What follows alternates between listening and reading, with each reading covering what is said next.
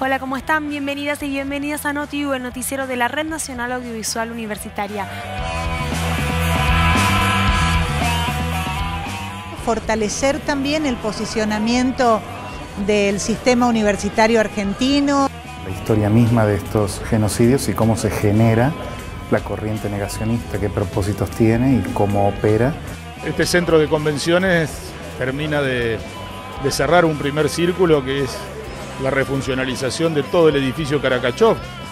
Mucha información y muchos conocimientos que pueden ser aplicados desde la carrera de abogacía porque se trata de políticas públicas para la democratización del sistema universitario. Te vamos a contar las últimas novedades de nuestras universidades públicas. NotiU, sábado a las 21 horas por TV Universidad.